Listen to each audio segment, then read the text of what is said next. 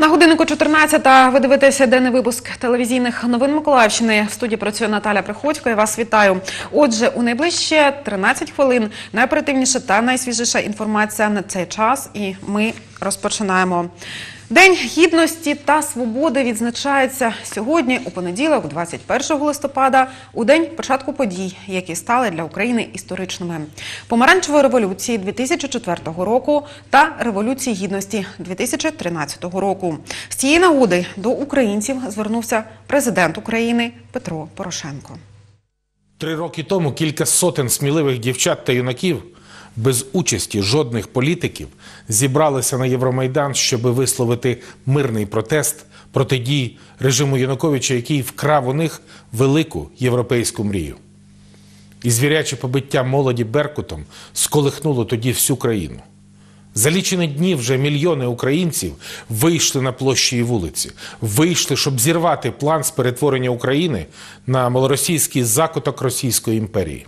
Уряди, парламенти, президенти, казав колись Вацлав Гавел, будь вони навіть найкращими в світі, не здатні нічого зробити самі по собі, бо свобода і демократія передбачають участь всіх і кожного.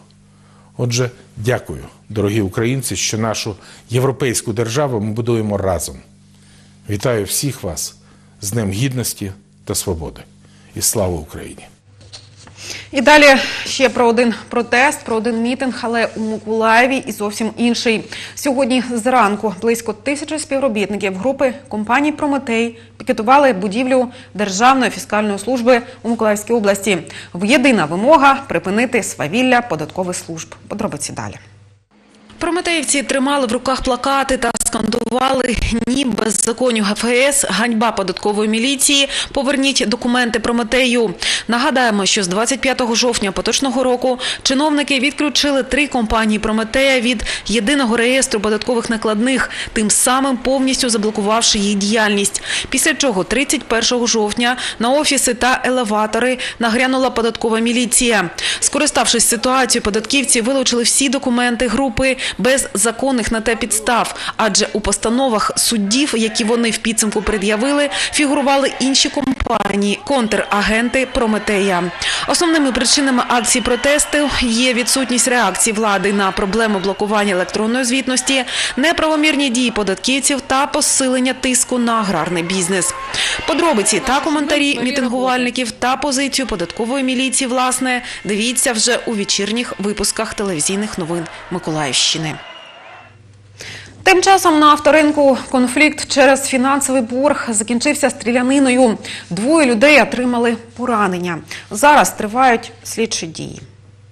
Близько другої години дня до поліції надійшло повідомлення. На автомобільному ринку, що розташований по вулиці Троїцька в Інгульському районі, невідомий чоловік, застосувавши травматичну зброю, поранив двох людей. За словами учасників сутички, у власника одного з торгових кіосків виник конфлікт з 35-річним чоловіком у зв'язку з неплатою їм грошового боргу. Той, нібито відмовившись від зобов'язання, підкріпив свою позицію пострілами зі зброї. Влучивши кілька разів у землю біля ніг підприємця, чоловік пішов з території ринку.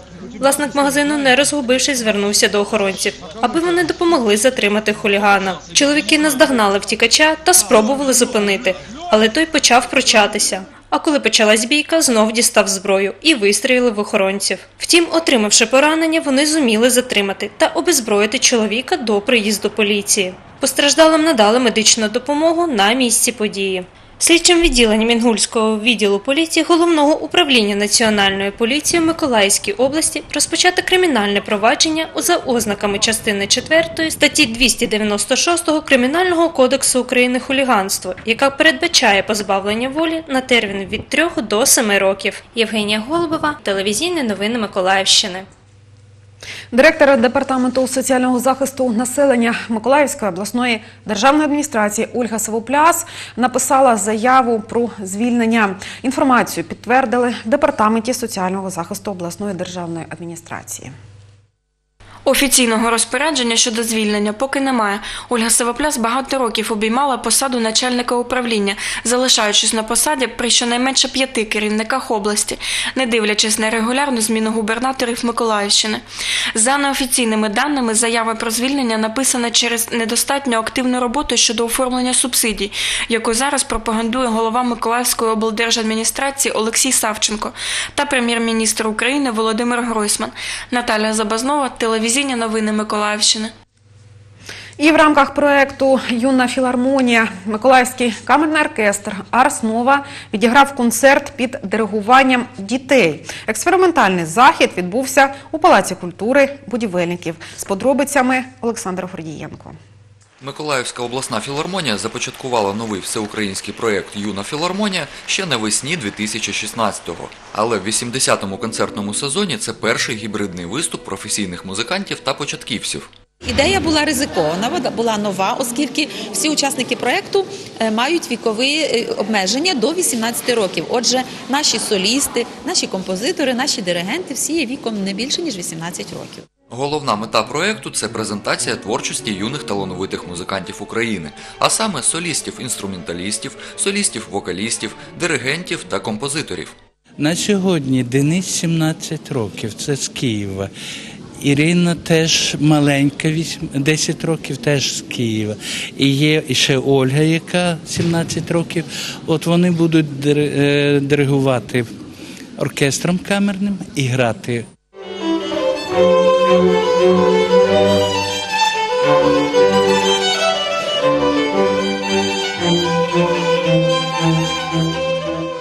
Чем проект этот уникален? Тем, что кроме того, что дети играют с оркестром дети маленькие, то есть такое, в принципе, встречается сплошь и рядом, у нас э, дирижирую я, мне 17 лет, и композиторы у нас тоже есть девочка, которой 17 лет.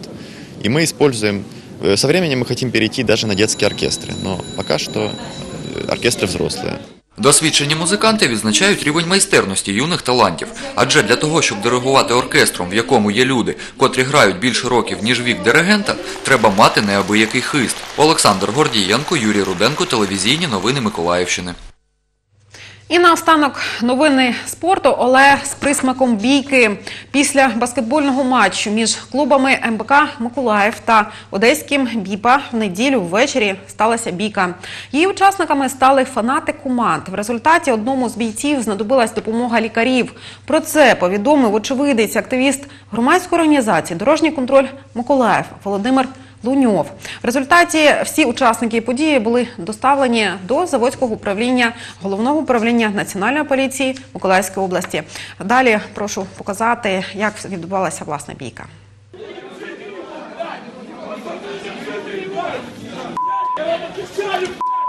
Що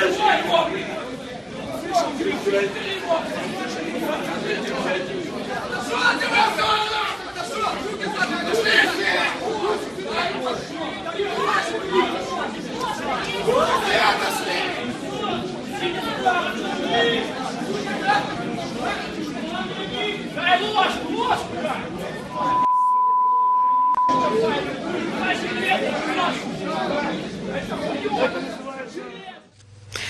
Ж, це був останній відеоматеріал цього денного випуску телевізійних новин Миколаївщини. Наступний випуск новин дивіться о 19-й. Наші знімальні групи працюють на інших подіях. І розгорнутий випуск телевізійних новин Миколаївщини дивіться вже увечері. Тоді ми будемо говорити, продовжувати говорити про пікетування Державної фіскальної служби е, співробітниками Прометею. А також будемо говорити про те, які заходи сьогодні відбуваються в місті Миколаєві. Власне, нагадаю, що сьогодні, 21 листопада, ми відзначаємо е, День е, гідності та свободи. Отже, не пропустіть, буде цікаво. До зустрічі о 19 на телеканалі Миколаїв.